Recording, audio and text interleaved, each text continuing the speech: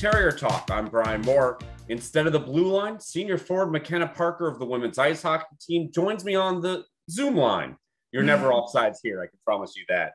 Mackenna, let's start with last weekend. A two game sweep over New Hampshire, where you ended up totaling two goals and two assists on the weekend, including a career high three points in that home opener on Saturday.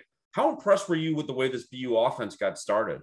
Honestly, I thought we had a really good start to the season. I thought that all of us came out flying like right off the bat, which I thought was good.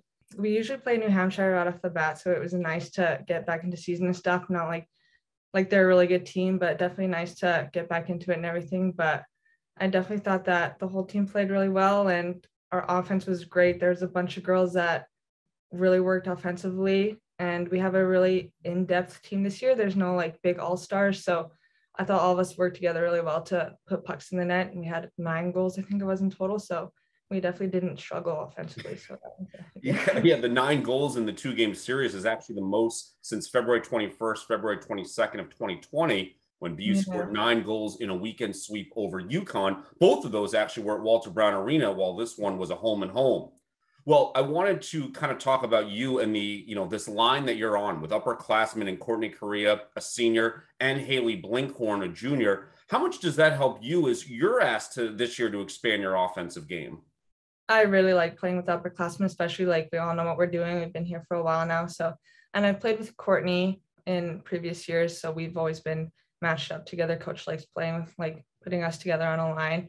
I've never played with um, Haley before, but I've I honestly really liked it. She works super hard. She's always battling, always forechecking really well. So I think our line has really been clicking. We had a really good weekend this past weekend, put some pucks in the net, and we weren't in the defensive zone much, so that was good. So hopefully we can keep that up. But yeah, I really love playing with them. They they've been really good. You mentioned the term clicking. Is there a time whether there was a practice or something where you felt that that that trio just kind of hit your stride? Honestly, like not really. Courtney, Courtney and I have always played like together and have played pretty good together. So I knew already knew what it was like to play with her. But um, coach kind of I was on like a different line these past couple weeks, and then coach kind of threw it together like um a couple days before the game. So it was kind of just like put the line together and go out there and play. But yeah, I honestly thought our chemistry was really good, and we went out there and we battled hard and we had success. So. Mackenna Parker from the women's ice hockey team is my guest here on Terrier Talk. This has become a common question, but I, I, think it's so important and really fun to hear the responses, especially from the players. Last year, played a partial season without any fans in the arena. This mm-hmm. season, mm-hmm. an exhibition game already, and your first home game so far. What's it like having fans back, and especially for you in your in your season, uh, your senior year?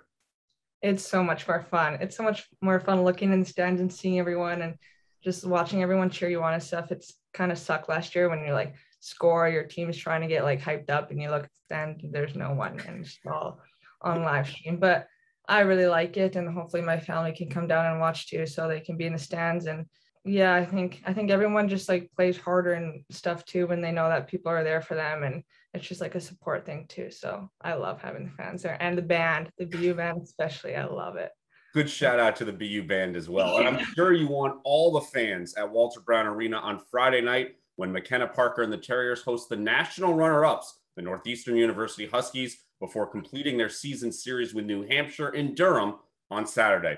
Until next time, I'm Brian Moore. Let's talk again.